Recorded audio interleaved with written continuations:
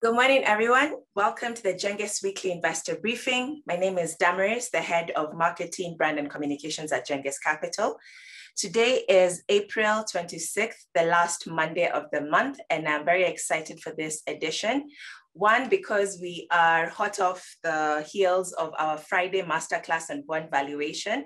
So I'm looking forward to the discussion we're going to have with Churchill when it comes to fixed income. Churchill is the head of research. He'll be taking us through macroeconomic outlook for Kenya for the week. He'll also be guiding us on the fixed income conversation and sharing with us the trading recommendations for the different bonds that are in the market. We'll also be tackling the equity segment of our market. Hopefully our equities dealer, Kevin Ginge, will be able to join us. If not, Churchill will also guide us through that. Lastly, we will have an overview of the global financial markets. Thank you to thanks to Mathew Kabeere of EGM Securities FX Pesa. Genghis Capital has a partnership with EGM Securities, which allows our share trading clients access to the global financial markets. So if you are a Genghis client or you want to be a Genghis client and open up a CDS account, you also have a unique opportunity to tr trade on those different commodities. Our session is interactive, so please use the Q&A tab to send in any questions you may have and we'll tackle them towards the end of the session. You can also use the chat function to share any comments and thoughts that you have as we start. I also want to welcome two new members of the research team just before we start. That is Wesley and Melody. They're joining our research team and we're really excited to have them in future editions to actually grow the conversation. So Churchill, I think we can start. Um, over to you. Let me allow you to share your screen. Uh, thank you, Damaris. Uh, good welcome to everyone who has joined us today. You're good to go. Uh, thanks.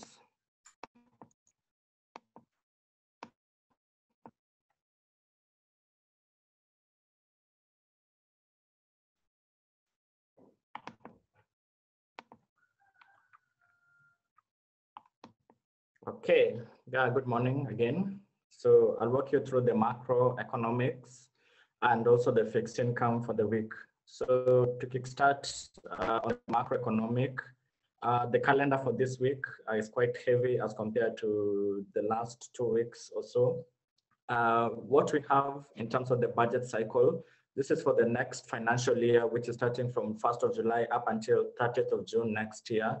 Uh, we have uh, what was on the cards to be submitted by tomorrow. That's the draft budget estimates on one hand, and also the finance bill, which is supposed to be submitted tomorrow. So in regards to the draft budget estimates, what and uh, what we are looking at is um, uh, the, uh, the submission of the estimates to the executive primarily, primarily. By the executive, I mean the ministries, department, and agencies. Looking at the ceiling that was given in the budget policy statement, which is the anchor document for the budget, uh, we're looking at uh, 1.91 trillion to be that that was uh, to be extended to the executive on the other hand, we have uh, 17 billion that is supposed to go to the judiciary, and then another 38 billion that is going to the legislative. This is the two houses in parliament. So for the national government, what I mean the national government, I mean what is going to the executive, what is going to the judiciary, and what is going to the legislative, the three arms of the government, we're looking at 1.97, 1.97 trillion in the next financial year. Uh, so the draft budget estimates draft budget estimates that we'll be seeing, uh, if it's stable tomorrow or sometime in this week, will be more or less along those uh, ceiling of 1.97 trillion that was uh, put in the budget policy statement. The finance bill, also another, another key legislative piece that we are looking at uh, for primarily to look at the new tax revenue streams for the next financial year. Uh, for the current financial year, we're looking at uh, ordinary revenue at 1.5 9 trillion. This is expected to jump by 181 billion to 1.78 trillion in the next financial year. So that difference, 181 billion, part of it is due to the organic growth. Last year was a bad year, so revenues were slashed down. But because the expectation, quote unquote, that this year will be a good year. So in like terms, uh, ordinary revenue has increased uh, by that much to 181 billion. So there's that portion of organic growth, uh, which will also propel robust revenue collection, which has been priced in that 181 billion. And also there are new tax streams or new tax proposals that will be the, at the cracks of the Finance Bill 2021. So that's what we'll be keeping an eye on uh, either tomorrow or sometime this year. Parliament right now is on, is on recess. It is expected to come back on Tuesday next week, but nonetheless, uh, there are some rumors or there are some indicators that there could be a special sitting on Thursday uh, for the proposed BBI bill, uh, the Constitution of Kenya Amendment Bill which is its formal name, uh, on Thursday session. So probably we could see that if that comes to fruition, we could even see that these documents are tabled on Thursday session. Uh, also another uh, in the, another report that is expected to be out this this week following the recent trends is now the 2021 economic survey. It's a bit of a rear view mirror looking at what 2020 uh, panned out, be it in terms of these major indicators, but nonetheless, they are good, at least in terms of the expectations for this year. So the first uh, key thing that we'll be looking and keeping an eye on the 2021 economic survey is now the growth uh, growth estimate for 2020. We know, we all know, or it's a conventional wisdom that last year was a bad year, was an ugly year as compared to the recent years uh, just because of COVID-19 pandemic. But what was the actual 2020 growth number that will be in the report? Was it 0.6% that Treasury is talking about or 0.6 negative 0.1 that the IMF is looking at uh, as the growth for last year or anything in between. So that will be what will be part and parcel of the 2021 economic survey. The supply side basically means the sectors, manufacturing, agriculture, and all those other sectors that you may think about, that is on the supply side. And what is on the demand side, uh, so there are two sides of the coin when you look at the growth, the supply side, the sectors, and also the demand side. So the demand side speaks to, say, the government spending because it has a part, it's part and parcel to the growth uh, in any given calendar year private consumption, what you and me uh, consume, uh, it also tallies up to the growth.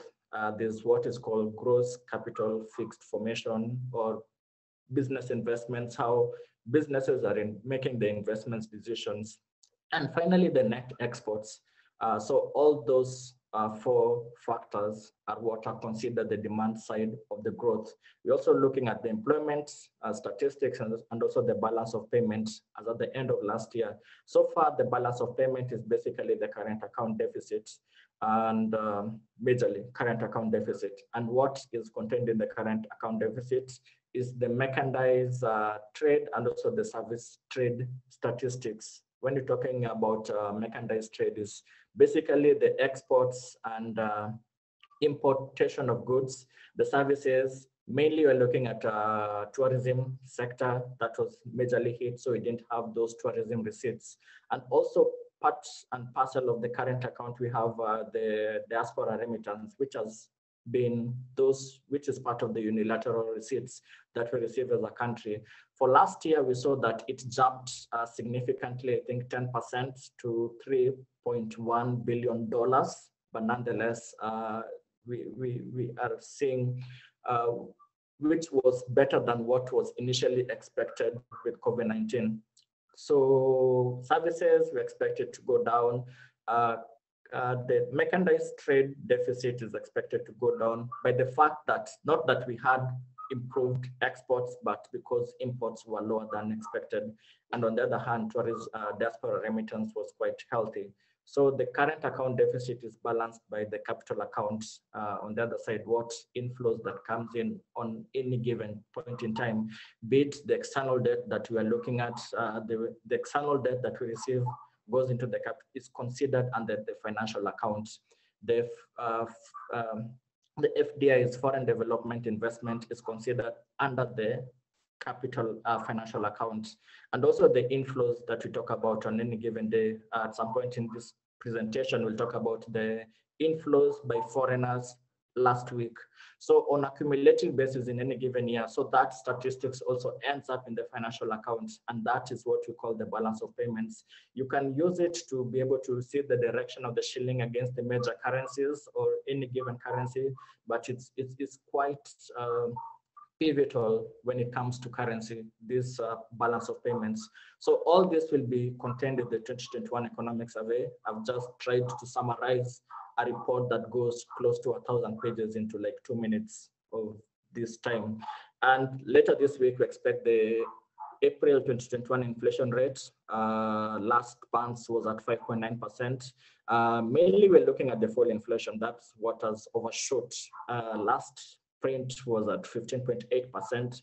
Looking at where it is uh, on the back of uh, the retention of the EPRA fuel pump price reviews so moving on to the fixed income uh, segment, uh, this is now Damaris' favorite after that class that we had on Friday. Uh, secondary market T-bonds activity declined 35% to 17.3 billion. And the activity was majorly on the IFB's uh, infrastructure bonds, and specifically the 18-year infrastructure bond that was issued uh, top of this month. Uh, T-bills performance rate of close to 60% at 14.4 billion. And yields you've seen on a year-to-date basis, they have climbed by 0.61%. And if you compare with the lows that we saw July last year, we are seeing that on average, our yields have gone up 1.56% uh, from the lows that were there last year in July. So there's been a steady uptick in treasury bills yields over the last uh, couple of months. Getting down to the liquidity trends uh, for the week, last week rather, in terms of the interbank uh, rate, it climbed by 0.73% week on week to an average of 5.6%. On the other hand, uh, which also solidifies that there was that tightness in liquidity, uh, is that the CBK intervention were majorly on liquidity injection. So what it does on any given day, CBK assesses the liquidity in the banking sector. And if there's a need to address those liquidity shortages, uh, it, it puts out uh, what is called a reverse repo instrument. If there's in, uh, if the liquidity is on the surplus side, so they do a reverse repo, the repo to mop up the excess liquidity. So for last week, uh, they were majorly on the reverse uh, repo side. So amounts that were sought was 30 billion, bids received 58.25 billion, they accepted 40 billion at a weighted average of 7.99%.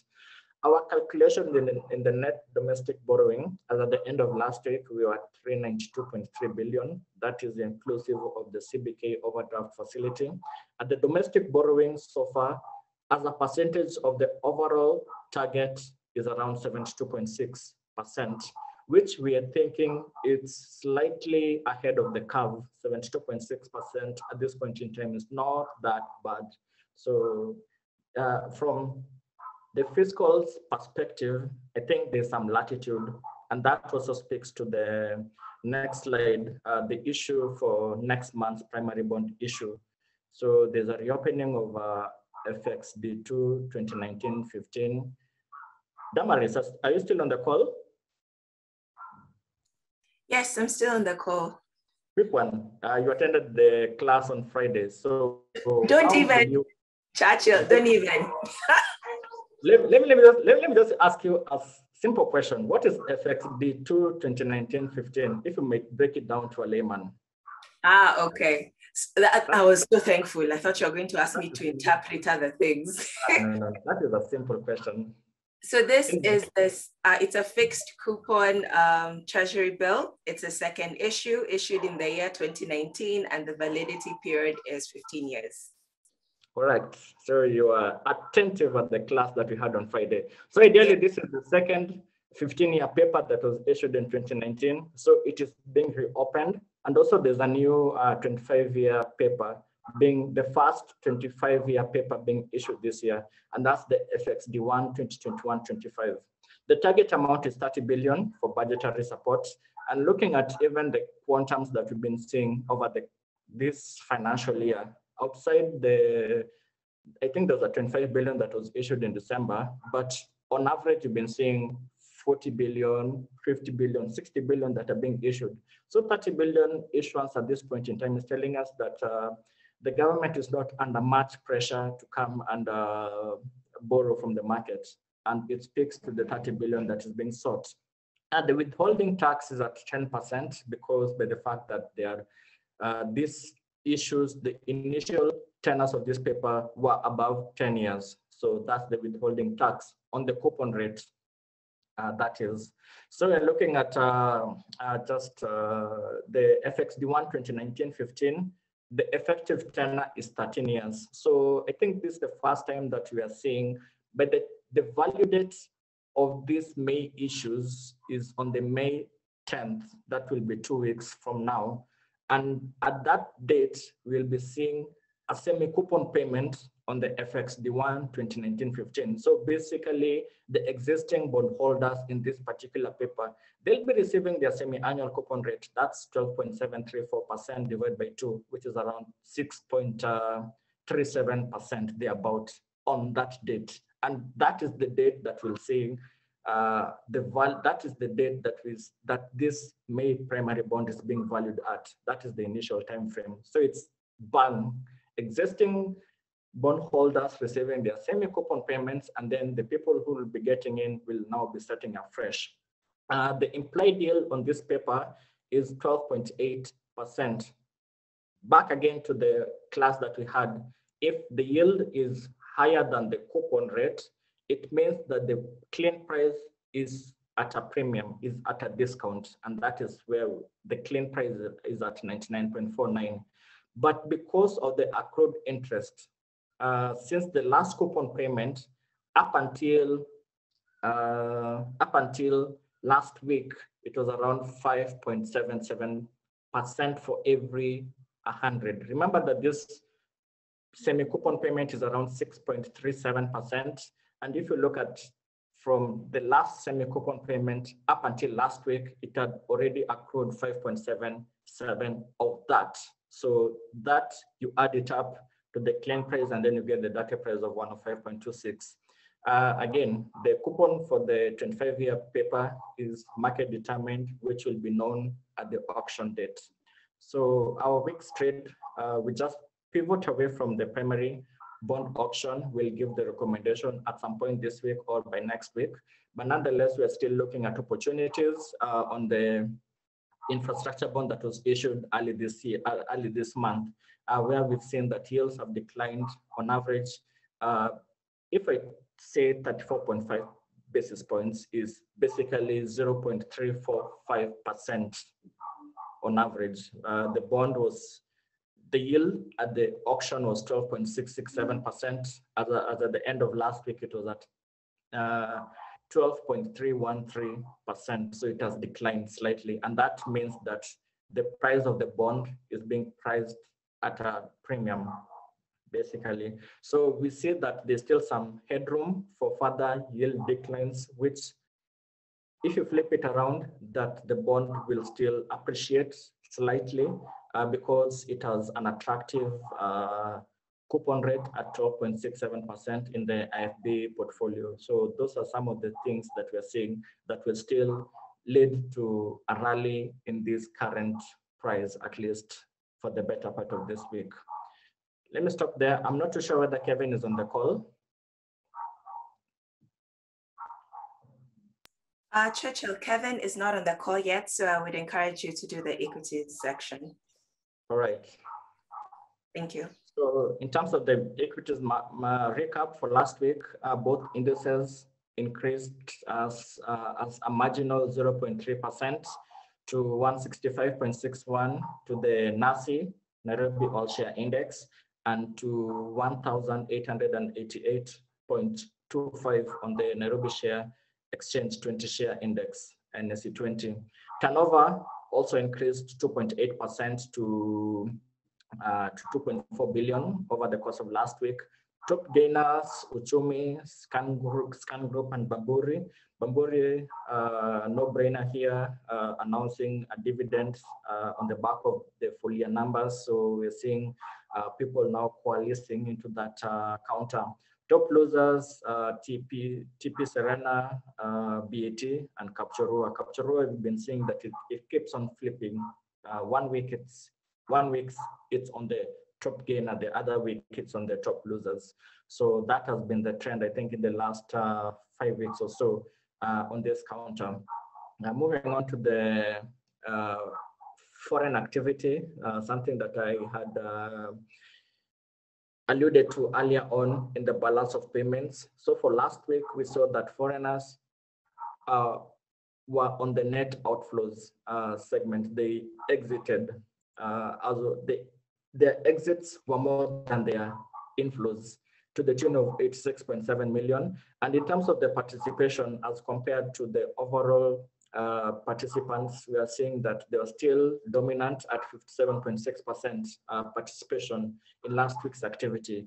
Uh, there were foreigners were accumulating on Safaricom, KCB Group, and they exited or they were net sellers on Equity Group and EABL.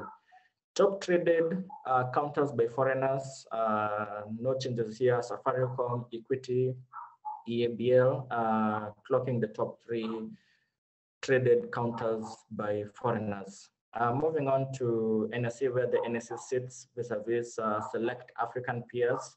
Uh, we are seeing in terms of this metric, price to earnings, whereby you're looking at the price of Nairobi share or where the index for Nairobi All Share Index is as compared to the earnings uh, for the underlying companies. We're looking at it sitting at a multiple of 12.5 vis-a-vis uh, an average of the select African peers at 10.6 multiple. So I think that it's slightly expensive as compared to uh, these African peers.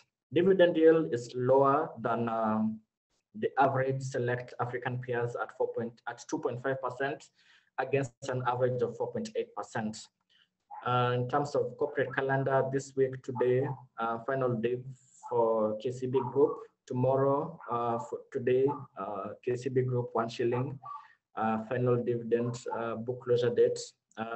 tomorrow, Stanchart, final dividend of 10 shillings and 50 cents. And then on Thursday, the 30 cents final dividend for KenGen, clocking up the book closures for this for this week. I will still have uh, book closure dates, but for next month, starting with Stanbic at uh, 20, on the 21st of May, BOC Kenya on the 26th of May, Jubilee also 26th of May, Kakuzi on the 31st of May, NSE 4th of June, and Total and Umeme both on the 25th of June. Uh, finally, our trading ideas for the week, we're still pitching uh, those stocks that could weather the COVID-19 storm, uh, those ones are the ones which uh, rank higher in our recommendations and are also part and parcel of the portfolio uh, of the momentum portfolios uh, that we keep an eye on. Uh, that's Safaricom, Equity, KCB, and also EABL. So those are the ones that we see because of the moment in, in, in our momentum portfolio, those are the ones that we continually pitch. And specifically for this week, we reiterate our trade uh, for last week. This is Stanchart. We're still seeing that uh, it doesn't move that much in terms of the pricing. Uh, on the date when it announced its full year 20 results, which was which was 141 shillings, and also at the end of last week, it, it closed at 141 shillings. So it's telling us that investors haven't really priced in uh, this dividend uh, dividend announcement of 10 shillings 50 cents in the pricing. So it still has an, an attractive dividend, dividend yield of 7.4% against the banking sector average of 3.5%. And that uh, marks the end of our present of my presentation, which I'll stop here and uh, invite to walk us through the global markets. Thank you, Churchill. Welcome, Mathew. We hope you're well today. Good morning, everyone. I hope I'm sound and clear. Uh, apologies, last week I had challenges with my connection and um, I've really worked on it. My team has worked on it and we're good to go. So let's delve into the global markets. Um, last week, just a second.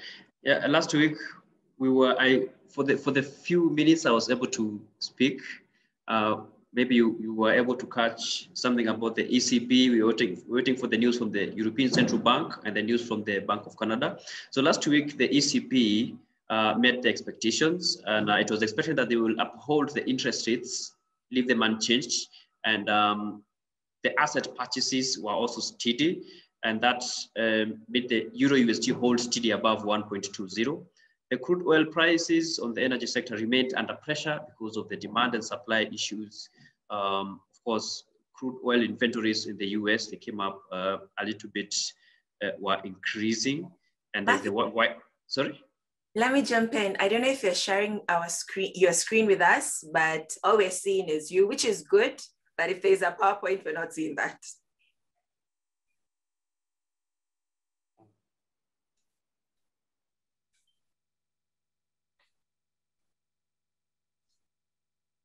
Yeah. Yep, it's Thank you, thank you for that, Damaris. Yeah, uh, just looking at last week's uh, recap. Huh? And I was talking about uh, the Bank of Canada threatened to hike, uh, to tighten its monetary policy. It scaled back to its quantitative easing program.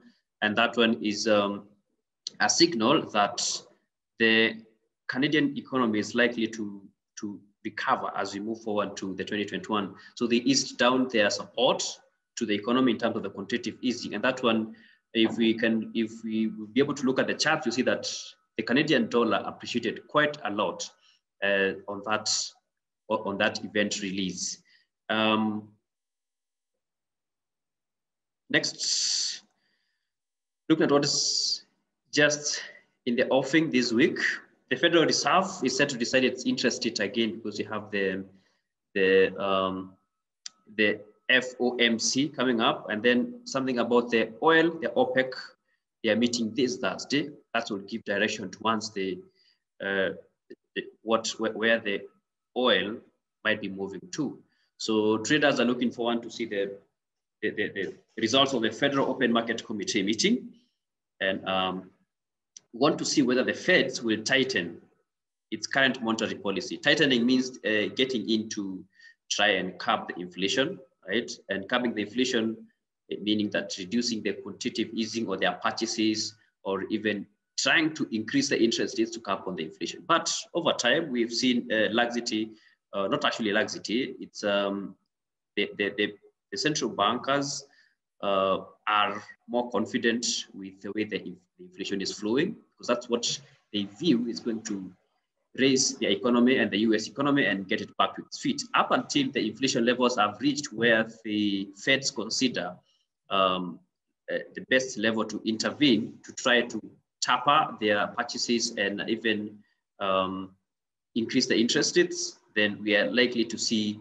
um, a loose, uh, um, the loose monetary standing as we as we are at the moment. So that meeting is very important. Um, to give us that direction. The market labor, the, the labor markets, uh, it's still weak. The payrolls are 5.5 below the pre-COVID uh, levels because they have to go to the pre-COVID levels for that to hint a likely recovery. Um, in the energy markets, oil tanker, oil traders, um, again, keep their eyes on the OPEC meeting on Wednesday. Uh, we had the US, uh, US has, has come up with, they want to start suing the, the OPEC plus countries because um, they are thinking they're increasing or they're influencing the oil prices, right? And um, the production costs, they, want to come up with uh, uh, antitrusts and production uh, uh cuts um, claims against those countries that are increasing uh, the oil prices. Now, the calendars, that's how they look like, the economic calendar. You can check it out. We have got so many websites that offer them. And of course, if you want to check out the FX Pesa, again, you can find it. And I can find out there reports on the OPEC on Wednesday. It will be coming up on 28th, that's Wednesday. And um, of course, US um, personal income spending. That is going to be very important as well. But even very important is the FOMC statements for the directions of the US. Remember, we are picking the key, key events that will be coming up. So on the products to watch, we look into the oil, looking up on the oil. And um, last week, the prices, of course, suffered from the surging COVID cases in Asia. Remember, with oil, it's all dependent on the supply and demand.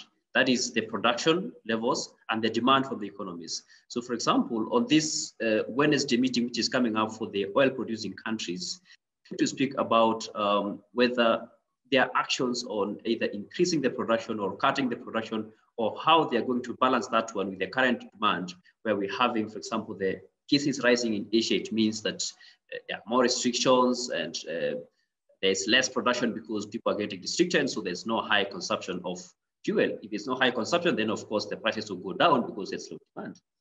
Those are the two uh, uh, parameters that, or two factors that keep on weighing on oil. And um, Asia, India, Japan, we've got COVID-19 weighing up on them. And of course, that one seems to give us a hint that economic recovery in those in those regions is a little bit uh, uh going to take a little bit longer. And that one um, gives a weak demand for the for the oil. And um, last week again, the U.S. crude oil inventories went higher. So if this if the, if the inventories are higher, means the production the, the consumption is low. That one uh, puts pressure on the oil. Let's look at the technicals. On this chart here, as at the time when I was capturing these uh, these these uh, this screen or that chart, Still, the oil is on an uptrend, pushing a little bit higher because of the steady and slow recovery. The, the, the, the consumption is getting a little bit higher, but you can see as from um, uh, better, better part of this month, it has been declining, of course, because of um, the, the, the COVID-19 still it's here with us. But looking at the technicals, um, it's on an uptrend. The, the, the price, the oil price is at 62 there above the 50 moving average, as you can see. The moving average smooth out the, the noise of the market so at least you can see the direction because you look at the candlestick, it's just up and down. So the price is above the moving averages and um, it's on an uptrend. You look at the momentum there, it's above 100. So still a bullish uh, movement, right? An upward outlook. And um, the technical levels we're watching out here for an upside, for a strong upside move these prices must move, above uh, 62.6 for traders to really have a higher level of confidence that this price uh, of the oil for long positions to target the levels of 63 or maybe even higher than that. So the key level to watch for a good upside move is 62, right? That's when it will have gone above the, the, the short-term resistance there at 62. On the downside, of course, we have a 61 level if um, the, the, the, supplies, of course, keep on rising and the COVID-19 is not really controlled as much and um, get disagreements on the control of supply and production, then we might see the oil prices going all the way. Uh, if it's able to break below that trend line and maybe move below the 61 level, might go to test that strong support at 59. But currently, there's there's a higher bias on um, a bullish move because of course it's above the moving average. We just have to wait as traders and see whether will break that 62 level. And um, the next instrument we want to look at is uh, the gold. And we're looking at gold because of the upcoming uh, decision about interest rates or the monetary policy on the USD. Remember, uh, for the people who are trading gold, you need to watch out on the strength of the USD. That's why it's very important to watch out on the fundamentals on interest rates.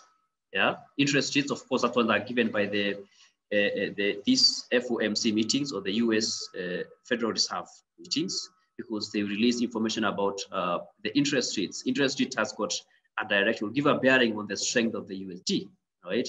The inflation, because of course people go to buy US dollars uh, based on their expectation of the inflation, right? Because the gold is priced in terms of the US dollars. So if the US dollar weakens, then it means that people are looking forward to the gold becomes cheaper and that, that's the time to go and buy, right? And again, when there is inflation, it means that um, it's a hedge. So when you have gold, then it's a hedge for the inflation. And of course, people also, the trader watch out for the bond yields, right? Because again, bond yields and the interest rates, they have some correlation. Currently, the bond yields are a little bit low, right? And the US dollar index again is low. And what is going to move that is the Federal Open Market. So looking up on the technicals there, um, and of course on the last week, last week there was um, a, a, a, an uptrend. So the gold was not able to really pass above the 1800 psychological level. Um, so investors are looking forward to see what happens with the inflation, the Fed will keep the interest rates uh, near zero. It's around 0.25. If you keep it there, again, it seems that they're not as much concerned to try and control the inflation. That means that gold might get some support there. And um, that is going to keep the gold from suffering bigger losses. But look, look at technicals there, uh, gold seems to be on an, um, an upward channel. So currently around the lower, uh, that, that uptrend, that trend line there, still trading above the moving averages, above the 50 moving average. Look at the momentum, it's um, showing some bearish move. So key technical levels to watch. Of course, we want to look at whether the price will maintain above that 50 moving average. That one will, will show some strong support around, around that level, of course, around 1760. If it gets hold of that support at that level, then we have the momentum moving again above 100 it's a signal of an uptrend. But again, for a strong uptrend, traders have to uh, watch for the price to break that um, 1800 level for a strong and a higher confidence on having or riding an uptrend all the way to the 1820s, maybe, maybe, maybe all the way to 1870s and, and above. But currently, technical levels to watch, make sure it stays, it holds above those moving averages.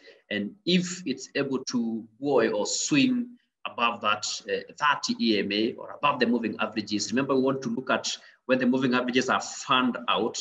So if the, if the price, whenever the price just gets into the moving averages, trying to break them, and then it's not able, gets back again, goes back and above the moving averages, you might look for, look for positions in that favor. So currently the, the, prices are just in between the moving averages. want to make sure that price goes above that moving average, maintains there. And if it depicts and breaks that 1800 level, then that could be a good position to target all the way to 1820s and above. Again, wait for the outlook on um, the, the outlook of the Federal Open Market Committee on Wednesday. So on the stock side, remember earnings earnings are very important. When earnings come up, if they are positive, because when you're looking at the news, you want to see whether the earnings come up better than expected. If the, if the results are better than expected, then it means uh, good performance for that company, right? But again, even better, if you want to follow up on, um, if you want to follow up on the performance of these these stocks, make sure you look at the price earnings share and all those. I think um, Churchill has, has got more information on how you can analyze the, the stocks more on the fundamentals, but basically they match the, the same, same things, price earnings, price, price, price earnings, uh, price per, is it price to the earnings or PE, right?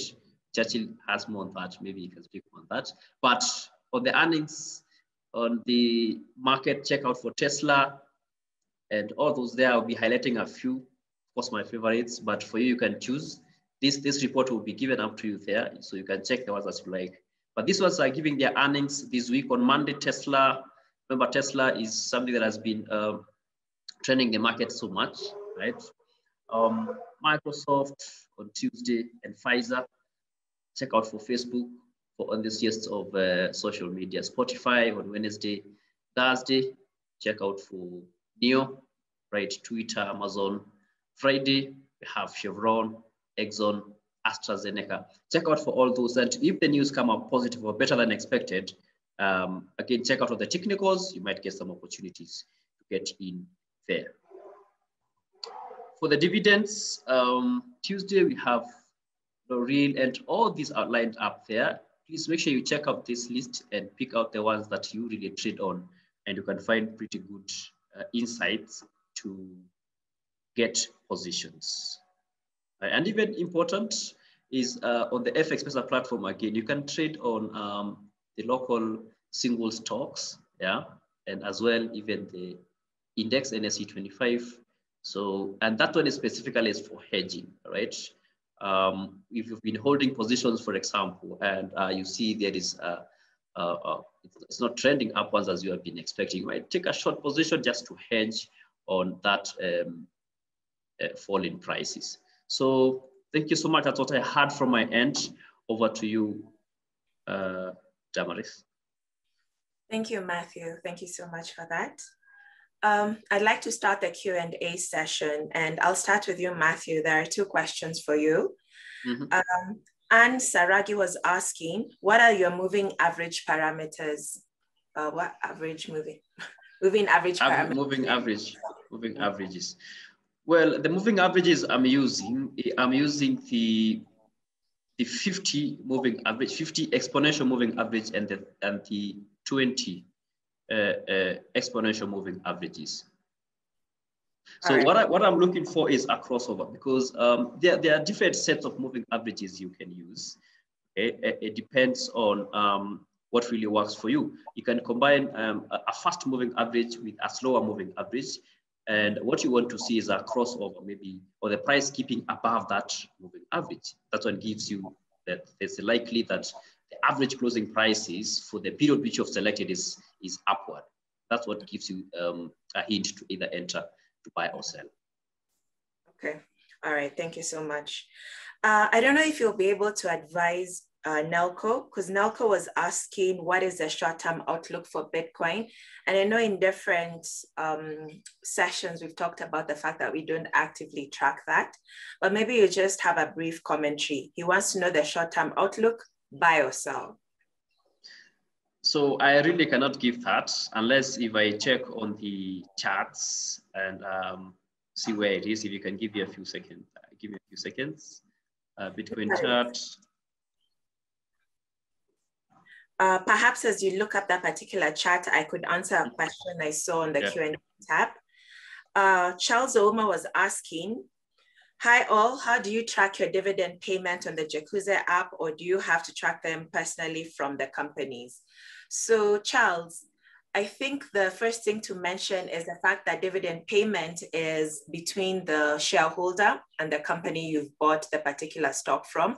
So for example, if it's your Safaricom dividend, the dividend payment is going to move straight from Safaricom to you. It's not going to involve your broker, in this case, Genghis Capital. The only part we play a role is when you opened your account, you indicated your preferred means of dividends disposal, whether it was by bank transfer or by check. So you have to do it personally, uh, but we can always help you figure out whether you selected bank payment or check. Although I think checks are really trying to be phased out, more so because they're mailed to your postal address, and lots of people don't have postal addresses nowadays. So I hope that assists you. Mathew, have you been able to pull up your chart on Bitcoin? Yes, and um, when I look at the Bitcoins, I see that um, it's on an uptrend. Remember, for me on my side, I rely so much on the technical. So currently I see it's been holding on um, some form of consolidation, right? Between the 5200 $52,000 and currently at the 53,000, it's like it's breaking above that level. So looking at the technicals, uh, um, it's, it's on an uptrend, right? Mm -hmm. But really, I can't speak much about Bitcoins. Like, um, like Damaris say, we don't track much of it, but you can look forward for some, some, some bullish move, but make sure it's supported by technicals. Currently, it's above, um, it's, it's just been bouncing off a support level. And um, you can find some, maybe some, some long position there, but make sure this is just advice in my opinion. Uh, um, make sure you can again get it supported by your technicals.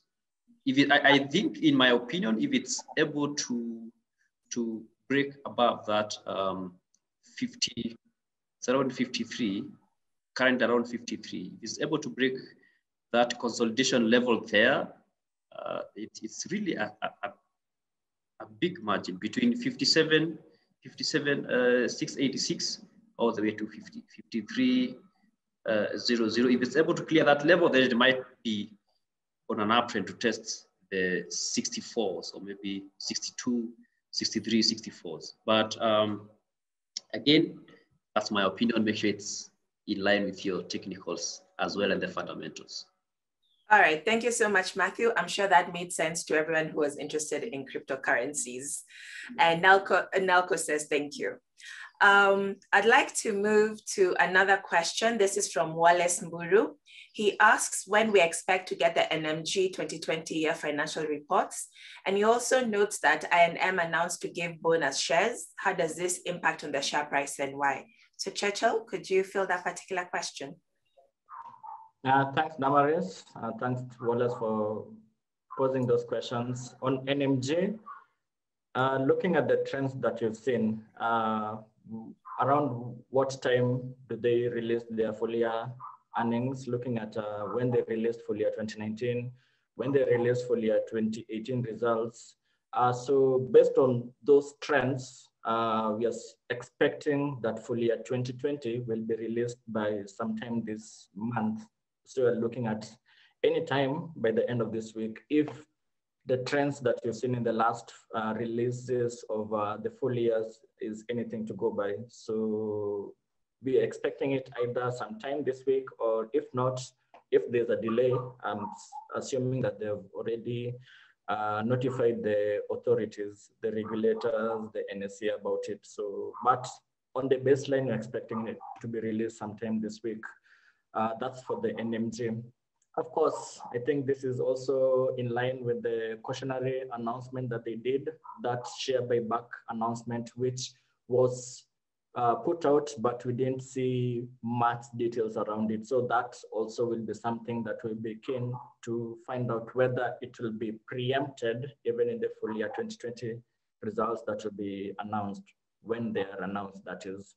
In terms of I&M, uh, yes, they announced uh, share, share bonus of one to one. So for every one share you have in I&M, there's a bonus share that you'll receive one to one. And the book the closure of that uh, for you to benefit for that is on the 10th of May. So that's two weeks away.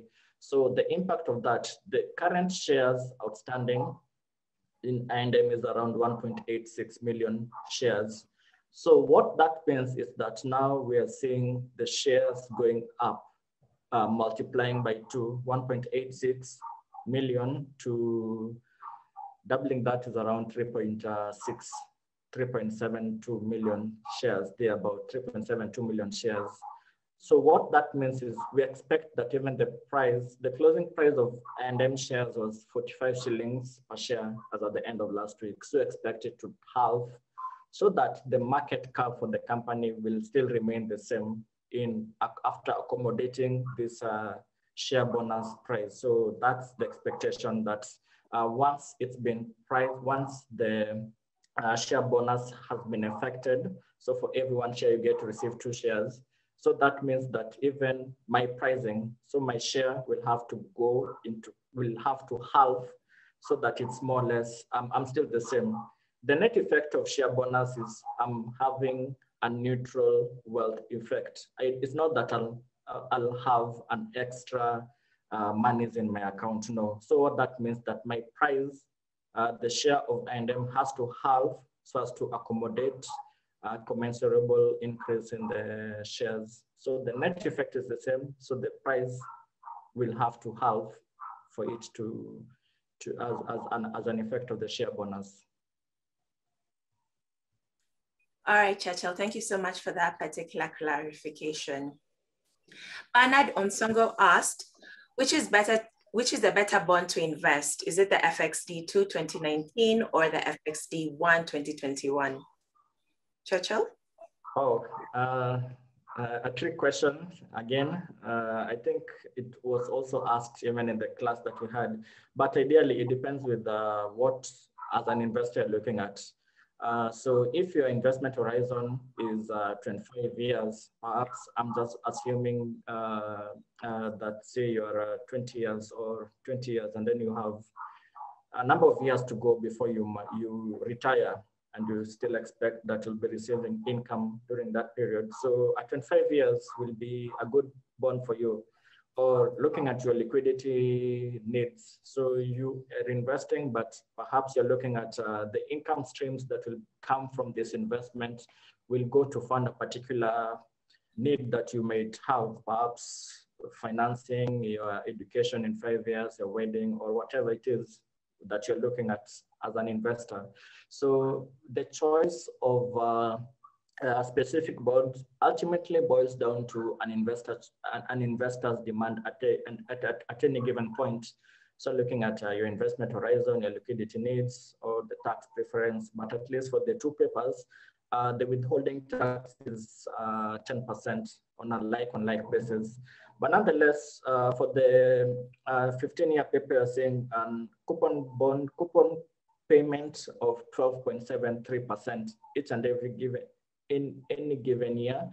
And um, for the 25 year, which will be market determined, I think could be, I don't know, depending on where the market is, what the market is looking at could be probably higher than what is being offered at uh, by the 15 year. So if you want higher income, perhaps the 25 year will speak to you. So even in as much as the investment horizon will be shorter than 25 years, you're looking at five years, and then at the end of five years, you can uh, sell the bond at the secondary market, but you still get access to better uh, income every six months. I think the 25 years will be more ideal for you.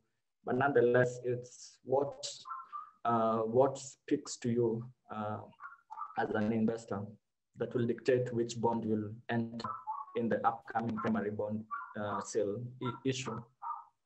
All right, Churchill, understood. So it depends on my particular my particular needs and goals as an investor. I want to address uh, Raphael and Clinton's question. They're asking about the money market fund. So Raphael asked, uh, on the money market fund, how can I track the interest rate on the Jacuzzi app? So I've opened my own Jacuzzi application. Okay. I don't know how vloggers do this, but share your screen. share my screen, cute. So once you log on to the Jacuzzi app, you click on invest. Once you click on invest, now you have a whole array of different products. You have the stocks, if you're interested in buying different shares. Then you have unit trust. If you click on the unit trust, right on the landing page, uh, Raphael, it shows you the prevailing rate, the current rate, and then it gives you the option of buy right at the top next to it. So right now the rate is 9.87%. Then you can just click on buy and purchase that particular, um, um, purchase as many units as you want. So there, you can see there is clearly buy and sell and the interest rate is indicated. If you click on buy, then you can input the amount you want to purchase, which will be 500 shillings and above. So that's how you see the interest rate and purchase. When you go to portfolio, I won't show you my portfolio because it shows you how much I have currently saved. But your portfolio amount, it changes every single day. So if I had, for example, 10,000 today, and I earn two bob today, tomorrow it'll show me 10,002 shillings. So you're able to see the incremental growth of your savings. So that's the effect of the interest. Clinton, I think you'd asked uh, for us to talk about how the unit trust on the Jacuzzi app works. So I think that explains it. Just navigate yourself to invest, choose unit trust, then choose Hela Imara, and then you're able to purchase, sell, and see your portfolio. I hope that has been useful and you're very much welcome, Raphael. Damaris, we wanted to see a portfolio, at least to see that I can see portfolio in the Jacuzzi app. Eh, uh, no, no, no, no. There are some things which are for the investor. So me as an investor, I choose privacy. Damaris, uh, demonstrate for us, Damaris. Just show us the portfolio. We won't will, judge whatsoever. You will be staggered. You will be flawed. I really want to save you from that. Now, uh, Churchill, Faith is asking for the minimum amount that is required to invest in the 15-year bonds and the 25-year bonds. I have an answer, but let me let you tackle that. Then we deal with the last three questions in the Q&A tab. Minimum amount to invest is 50,000 for the two bonds. yeah. yeah yeah we covered that in our master class so i shared the link to that particular session the friday session in the chat so if you want to revisit you can do so if you want a copy of the presentation just drop the marketing team an email the email address i, I, I provided um, um, yes sorry, sorry for cutting you short uh, there's there's that uh, attendee who asked about um, the Bitcoin. If you allow me to share a little bit of technicals I've been able to pick up. Oh, please, please, please go ahead. All right. Um, hmm. So if you check out here, I, I, hope you can see the screen. Oh, not yet, Good. not yet, not yet. It's you able to see the screen? Yes. All right. So um, checking out on the technicals a little bit about the Bitcoin. And um, on the daily, you see, you look at the RSI there, it's coming off an oversold level. And on the technicals there, the price as is, is below the moving averages. But um, when I check out that trend line, the price has got a very strong support there, which has been a previous resistance level. And um, it's like we have a pin bar coming up. Looking up at the candlestick structure there, we have a very nice engulfing candlestick here on the daily, right? But up until this price uh, breaks above this moving average, that's when you can have the confidence of really going long, maybe to target the 64 levels. This one seems more of um, like a short squeeze, something like that. But uh, up until we see this price going up aggressively, when we get back to the four hours on the same um, on the same instrument, we see there has been a consolidation. This is what I was talking about. I realized I was just um, I, I, could not. I was just speaking that you cannot see the, the actual structure, but here Again, a pin bar, a very nice engulfing candlestick. Currently testing the slow moving average, the 50 moving average. And look at the RSI, it's above 50. So signaling uh, price getting from, from bearish uh, market to bullish market. So if it breaks above that, um, that moving average, might look for um, a, a, a short-term entry, maybe all the way to, to see whether it's going to break that 57 level. If it breaks that one again, by that time, we'll have a crossover probably, and then could be a signal for the upside all the way up and up. But that's my opinion again. Make sure you again analyze the market. Thank you. Thank you, Mathew. Thank you so much. All right, uh, so Nelco and anyone else interested in cryptocurrency, Bitcoin, that was Mathew's perspective. Uh, a couple of more questions, and I want to combine two here. There's one from Willie who's asked, clarify what is what it means by implied yield clean price and dirty price on the secondary market. And Grace was asking a similar question where she's kindly asking us to explain how we arrive at the dirty price for a bond. So Churchill, could you answer those two?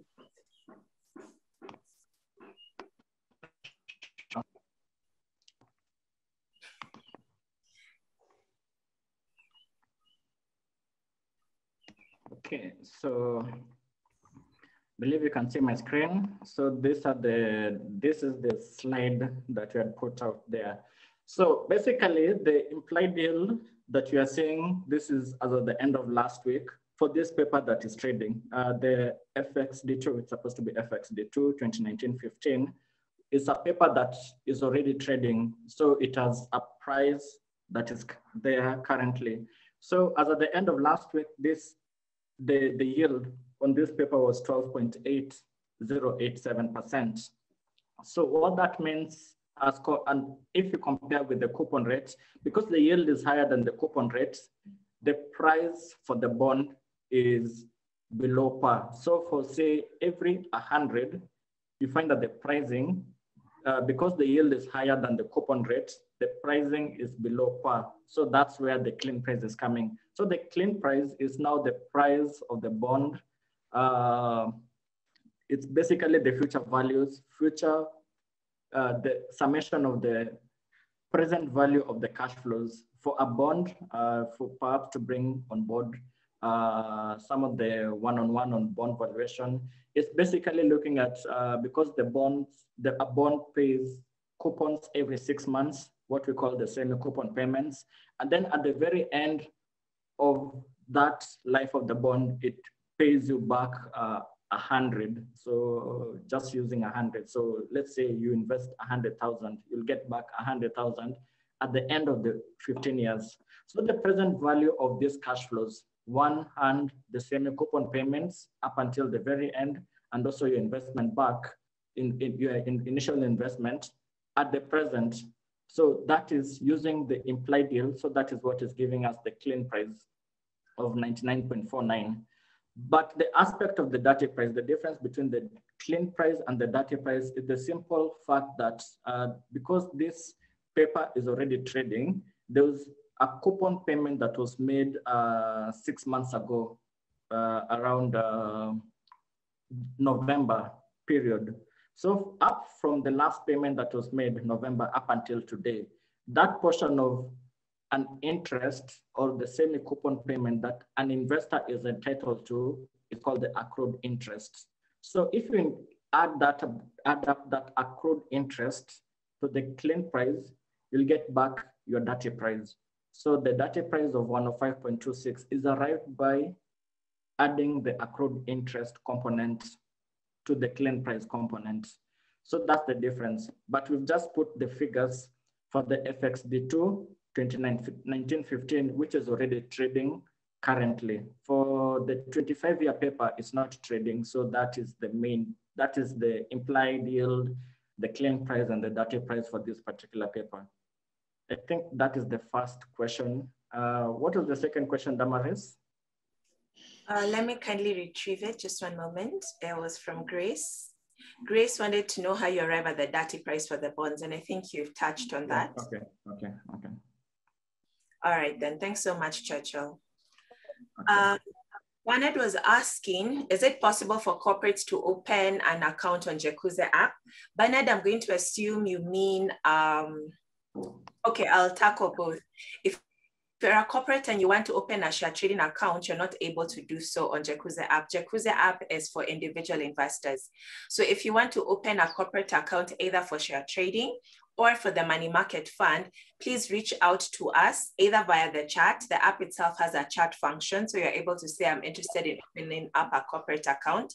And then the team will be able to guide you. I see you say it's for the money market fund. So yes, um, corporate, it's possible to open a money market fund for them.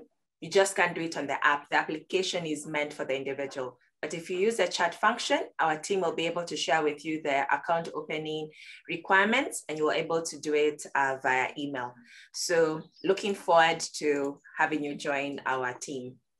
Lastly, Churchill, a recap on how the coupon, coupon rate is determined during auctions of treasury bills. That's a question from Willie. Damaris, Yes. Let me put on the spot. Now let me put on the spot. I'm using you as the boogeyman for the participants who attended the class on Friday. Make an attempt to be. I'm not prepared on a Monday morning for these ambushes, Churchill. anyway, so back to the question. Uh, treasury bills are essentially zero coupon bonds by the fact that they don't pay coupons uh, as the way you will see the bonds that we've tackled so far, uh, the bonds that we've discussed so far. For treasury bills, you could think of them as uh, zero coupon bonds. And uh, they are deemed as discounted securities. So what happens is, uh, say, and the investment that you look at the face value for treasury bill is 100,000 at the very minimum, at a minimum 100,000. So it works with 100,000. So for 100,000, what happens is it works backwards. Uh, last week, I think the 364-day T-bill was around 9.5%.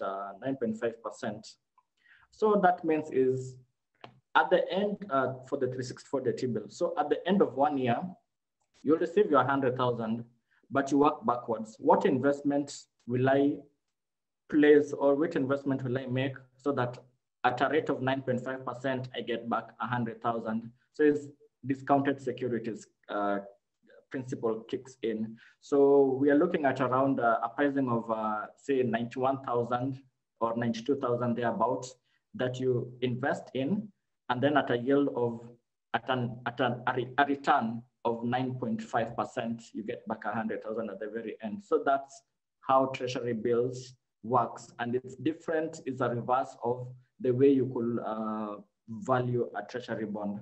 So zero coupon bond, treasury bill, and then the, the valuing of it is now the reverse, is a discounted security. I hope I have answered it. I think you've answered it, but I think, okay, maybe I'm speaking out of 10, but maybe Willie was asking, you know, every Thursday when the CBK, I don't know why there's an echo, but every Thursday when CBK publishes the results of the auction, how do they arrive at those particular results of auction? Maybe that's what he meant, because you are talking from the investor perspective. Or how they arrive at the yields. Yeah. They, oh, okay. How do they? Because I think the question was, what? How do they arrive at the coupon rates for the treasury bill? So I was trying to demystify that there's no coupon bond anyway. So how do they arrive? Uh, say, for instance, uh, Treasury uh, CBK has floated uh, this week's Treasury bill. They're seeking 24 billion. So 10 billion for for the tenor. And then assuming that you, they receive three bids, uh, one from Churchill, I give uh, 1 billion bid at say 8%, and then Damaris at uh, 7 billion at 9%, uh, and then Mathew at uh, 1 billion at 10%. So what they do, CBK will now average our bids, the three bids, and then come up with a, a market uh, market, the, the market weighted average bid, but then it has its own accepted average bid. So for instance, if the average comes to around 10%, but then they wanted it to be around 9%, so they'll reject the, the bid that was placed in at 10%. So Mathew's bid is now rejected and then they look at the average of my bid and Damaris bid, and then they average it out, and then they come up with the, uh, with that's how they come up with the pricing of uh, the, the average accepted bid, and that's the average. So for an investor who did not put in an actual yield for the for the T-bill, uh, what is called non-competitive bid, and those non-competitive bids are for those investors whose maximum amount is 10, 20 million and below, you can put in the non-competitive bids. So the average yield between Churchill's bid and uh, Damaris bid is what will be able to invest as an investor. So that's the mechanics uh, around uh, pricing for treasury bills. So they just look at the, the averages, uh, the bids that have come in, they reject those uh, aggressive bids, uh, and then they do the math again to arrive at the average accepted bids. Okay, that's understood. Thanks so much. The final, yes. Oh yeah, yeah, ask ask the question and then I'll come up with, with something. Yeah, no problem. Proceed. Okay. Yeah. All right. Titus's question, I'm going to try and understand. He wants to know if we have a bond op option for investors who want to invest in money market through our Hela Imara. So I'm not sure I fully understand the question, but Hela Imara is a way for an investor who's interested in participating in the fixed income market, but maybe doesn't have the required minimums. Remember Churchill mentioned that the minimum, for example, for a fixed coupon bond is 50,000. So let's say right now you don't have 50,000. The next best thing you can do is invest in a money market fund because a money market fund invests in fixed income instruments. And the good thing is that it has a low minimum. So for example, the Hela Imara money market fund, the minimum minimum is 500 bob. So whether it's for 500 or for 5,000 or for 10,000, you can deposit money in this fund. Genghis pulls all this money from different investors, let's say about a million different investors. And then let's say our AUM is like 10 billion. Then we take this 10 billion and invest in different bonds and T-bills and things like that. Then the return we get, we equally disperse it to the different investors. So in that way, any person, whether you have the 50,000, the 100,000, or the 20 million minimums Churchill is talking about, through a money market fund, you're able to participate in that particular market. So I hope I've answered your question. And I think with that, we can hand over to Mathew, who has something for us before we conclude. Yeah, Damaris, last time you dared me to ask Churchill questions, and I have something little for you, but it's quite simple, Churchill.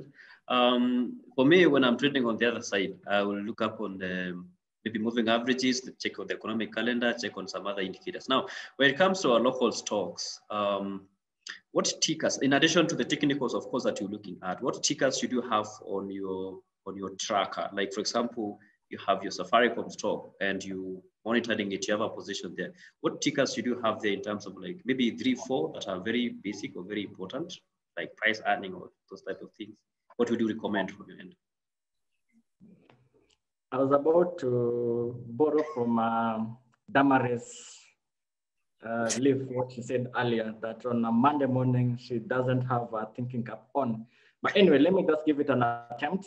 Uh, so when it comes to equities, how do we look at it? Uh, uh I know that from uh, the global markets perspective, uh, there's that high weighting towards technicals. But when it comes to the, the equity side, what we ideally look at it is on a fundamental basis. That's what analysts do. Uh, look at uh, anything that now fundamentally affects uh, the companies. I know that uh, now that you've mentioned Safaricom, I know that uh, there's been a bit of some uh, news flow around Safaricom over the weekend. And even today, there's that aspect of the, the Ethiopian telco bid. Safaricom has put out a public notice that it's, it's part of a consortium that is uh, that has uh, placed its bid for the Ethiopia telco telco license, and then the results will be out in a 30 uh, after 30 days. So that's one of the things that we keep an eye on fundamentally because it will now change the revenue dynamics for Safaricom even going forward. So we are really heavy on the fundamentals.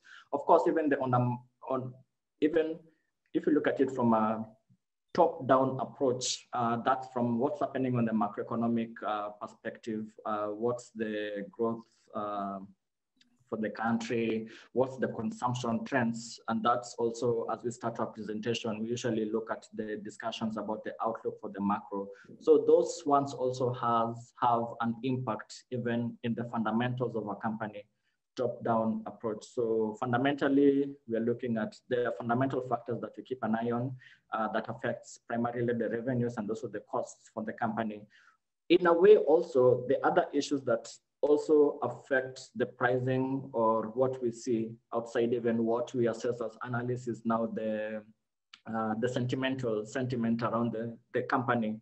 Uh, it could be some uh, some string of uh, negative news sentiment or some string of uh, positive sentiment. So, but those ones are now outside the scope of analysis because you might have a target price at uh, 32 shillings, but now there's that 32 shillings, but right now it's trading at uh, 35 shillings or 37 shillings per share.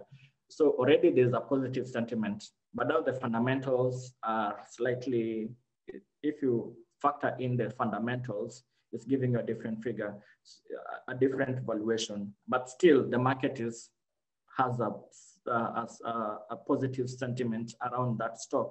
So those ones also we keep an eye on them, uh, but ultimately what determines the intrinsic value is not the fundamentals of a company. I hope I've tried to answer your question to the best of my ability this Monday morning.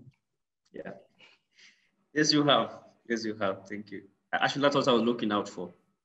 Okay. Next so time I'll, I'll, I'll, next time I'll do. I'll be the one now shooting a question to you. So I'll. it's it's an interactive session, no problem. Um, And I think an open mind. Yeah.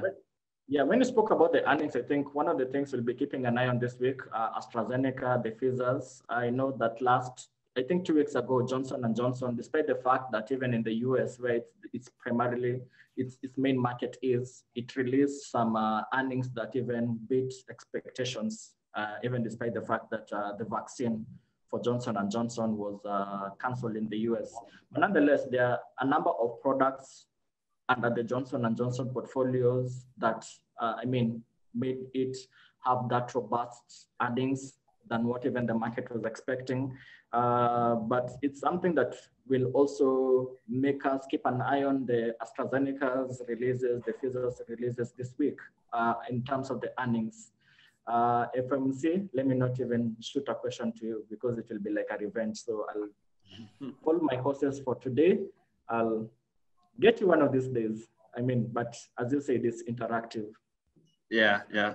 At the end of it all, it's just you know, discussion is giving more information to our listeners, and they get some insights. Again, these are opinions that we discuss. They get insights on just to sharpen their outlook in the market and get the best trade. Remember, all these we never certain.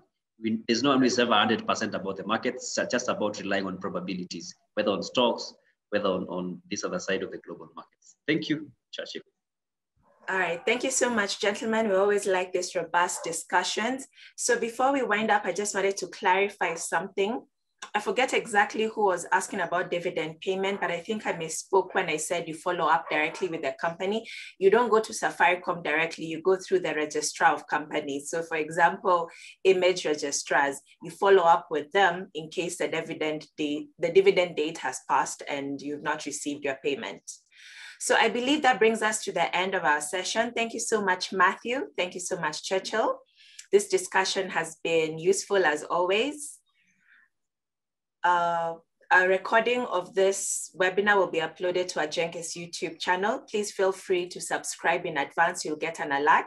And this time next week, we'll be open up, opening up a new month, that's May. So I'm sure Mathew will have new developments for us, as will the macroeconomic fixed income and equity space in Kenya. Thank you so much for joining us today. We'll see you next Monday. Have a fantastic investing week ahead.